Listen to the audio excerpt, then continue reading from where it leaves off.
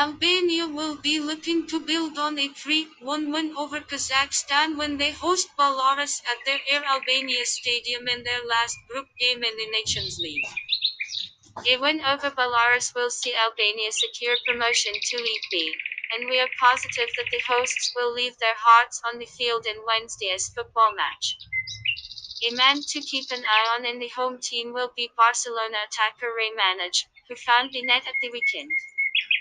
Belarus did well to beat Lithuania 2-0 at home in their last group game, but they will have a much bigger fish to fry against Albania.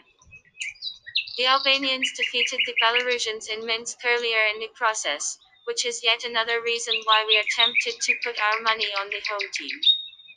The match will be played behind closed doors due to the fears of coronavirus spread. Prediction 2